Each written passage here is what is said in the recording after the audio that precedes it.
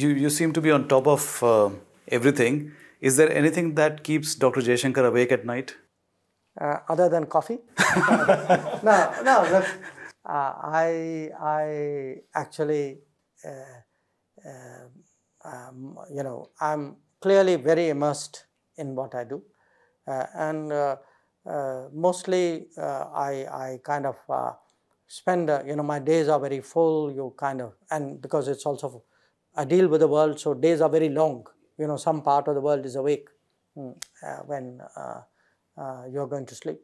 So by and large, I can say I have a uh, I have a good night's sleep. You know, after all, we have a great prime minister, we have a good government, we are going into elections, we think our prospects are very good, uh, and uh, I think most of all, honestly, I say this, I'm much more optimistic for our country than I have been uh, all my life. When I look, and I part of it is because I also see the abilities and the talent of of uh, you know younger people, what they can do, the kind of achievements, you know, something like what you saw during Chandrayaan or uh, this kind of thing. It really tells you, you know, we, we have so much in us, we need to, uh, we need to bring that out.